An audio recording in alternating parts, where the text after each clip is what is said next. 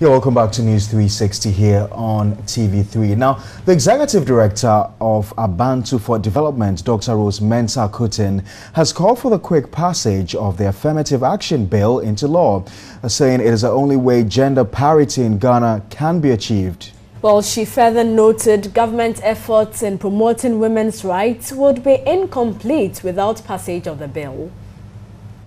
Action remains one of the dominant themes of development discourse requiring that the views of all segments of society to reflect in policy formulation and implementation. In Ghana, women constitute at least 51% of the population. However, representation at all levels of governance is low. This is typified by the low representation of women in parliament.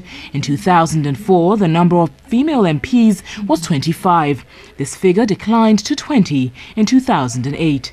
Currently, female representation in Parliament stands at 30 out of 275, representing a 10.9% representation. Out of 41 ministerial positions, only 9 are occupied by women, representing 21.95 representation. A gender advocacy group, Abantu for Development, says the passage of the Affirmative Action Bill is key to promoting women participation. The promises that you have made outside to ensure women's participation, full participation, just make them applicable to us in Ghana and put important policies and legislations in place that will make it uh, easy for us to implement those promises. All we are saying is calling for the immediate passage of the affirmative action bill into law.